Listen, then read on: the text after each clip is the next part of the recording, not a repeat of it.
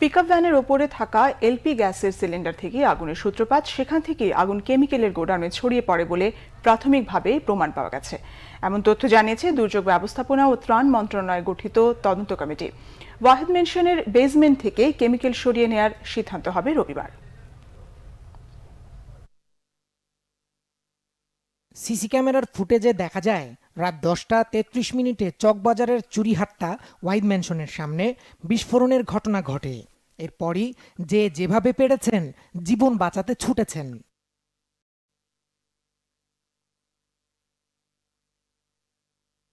পুলিশের একটি তদন্ত দল শনিবার থেকে বিভিন্ন তথ্যউপাত্য সংগ্রহ করেন ঘটনাস্থল থেকে। এ সময় পুলিশের পক্ষ থেকে জানানো হয় ওয়াইড বেনশনের মালিক হাসান ও সোহেলকে আসামি করা হয়েছে। আমাদের কাছে কিছু ভিডিও ফুটেজ থেকে, প্রত্যক্ষদর্শীদের সাক্ষ্য প্রমাণ থেকে সব কিছু কালেক্ট করছি। সব কিছু বিবেচনা করে আমরা সব কিছুই নিচ্ছি এবং সব কিছু কম্পাইলেশনের পরে আমরা সব কিছু বিবেচনায় যাব খুব শীঘ্র চকবাজারের বিভিন্ন দেয়ালে শোভা পাচ্ছে কারখানা ভাড়া দেওয়ার বিজ্ঞাপন।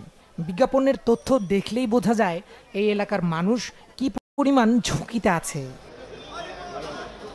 চুরিহাট্টার অগ্নিকাণ্ডের পর থেকে এনামুলের সন্ধান পায়নি তার পরিবার আমার ভাই আমার ভাই আমার- কোথাও বাদ দেয়নি খুঁজতে প্রিয় ভাইটিকে। আকুতি যদি একটিবার দেখা মেলে? ঢাকা মেডিকেল গেছি মিটফোর্ড যাওয়া হয়েছে তারপর আশেপাশে শিকদার সোরারদি কর্মিটলা বলছে ওইখানে সব জায়গায় আমাদের দেখা হয়েছে কিন্তু আমরা কোনো হদিশ পাই নাই। এনামুলের মতো অনেকেই এখনও নিখোঁজ। স্বজনরা হন্যে হয়ে খুঁজছেন প্রিয়জনদের। দুর্যোগ ব্যবস্থাপনা ও ত্রাণ মন্ত্রণালয়ের তথ্য বলছে, চুরিহাট্টায় অগ্নিকাণ্ডের ঘটনায় আঠারো জন নিখোঁজ রয়েছে। তথ্য সংগ্রহ করা হচ্ছে, ক্ষতিগ্রস্তদের সর্বোচ্চ সহযোগিতা করা হবে। আমাদের আঠারো জনের একটি মিসিং তালিকা হয়েছে, যে সিলিন্ডার ভর্তি একটি পিক আপ ভ্যান ছিল।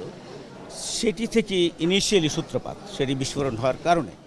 এবং দ্বিতীয়টি, যে পাশে যে কেমিক্যাল এবং দাহ্য পদার্থ ছিল, যে বিল্ডিংটি আপনারা দেখতে পাচ্ছেন ওই ভবনে সেটি আক্রান্ত হয়।